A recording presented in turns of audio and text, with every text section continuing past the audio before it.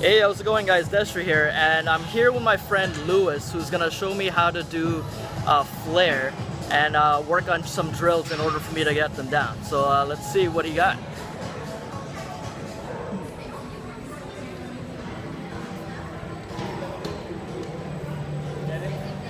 You always want to learn from someone who knows what they're doing. Alright, catch you guys later.